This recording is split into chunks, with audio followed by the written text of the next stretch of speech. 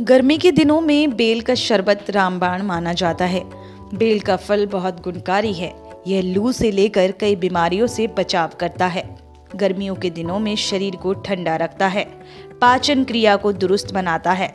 जिन लोगों की नक्सीर छूटती है, उनके लिए भी बेल का शरबत यानी बेल का जूस काफ़ी फ़ायदेमंद माना जाता है। इसको आयुर्वेद में बिल्लू कहा गया है। और ये जो है, एक बहुत महत्वपूर्ण औषधि है। और इसको मेडिसिनल इसका जो है बहुत सारा यूज़ होता है। और स्पेशली जो है जीआई ट्रैक में जो है इसका बहुत अच्छा रोल है। और ख़ासकर जो है, इससे जो बेल से जो है अतिसार मींस जो है डायरिया डिसेंट्री और खास जिसमें जो है ब्लड भी आता मोशन के साथ, उसमें इसको दिया जाता है। और इसके जो है कच्चा फल का जो गूदा है, उसको अगर निकाल के उसको गर्म करके और गुड़ के साथ अगर कोई पेशेंट लेता है तो उसमें खासकर जो रक्तातिसार जिसको कहा गया है, जिसमें मतलब लूज मोशन के साथ जो ब्लड जाता है, उसमें बहुत ड्रामेटिक रिज़ल्ट इसके मिलते हैं। और इसके अलावा जो है, गर्मी के दिनों में बेल का जूस जो है, खासकर जो है बिल्लू का, इसका जो है, ये जूस जो है बहुत ज़्यादा फ़ायदेमंद है। और जिससे जो है, हमारे बॉडी के अंदर जो है इलेक्ट्रोलाइट्स वगैरह जो है वो भी कंट्रोल होते हैं। और प्लस साथ में जो है हमारे जो है जीआई ट्रैक के सिस्टम को ये बैलेंस रखता है और डिहाइड्रेशन नहीं होने देता।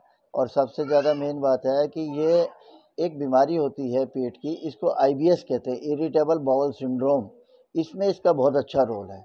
और मैंने ये ये एक क्रॉनिक बीमारी होती है, इसका एक्चुअली बीमारी का ओरिजिन जो है ब्रेन से होता है और इसका असर गट से मतलब जीआई ट्रैक से आता है।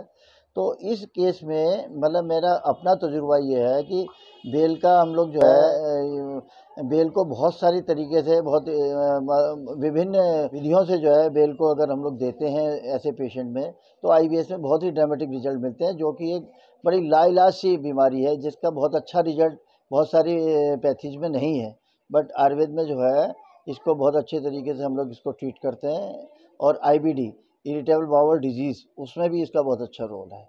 इसके अलावा जो है ये हमारे प्रजनन तंत्र को भी बड़ा स्ट्रॉन्ग करता है। ये पेट के लिए अच्छा चीज़ है ना?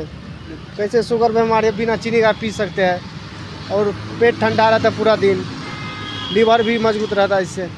गिलास बीस और तीस है, बड़े वाले चालीस है। तेल तो ज़्यादा पीते ना आजकल गर्मी में। अच्छा लुक, वो लुक नहीं लगते ना, पीते हैं तो बिल का जूस।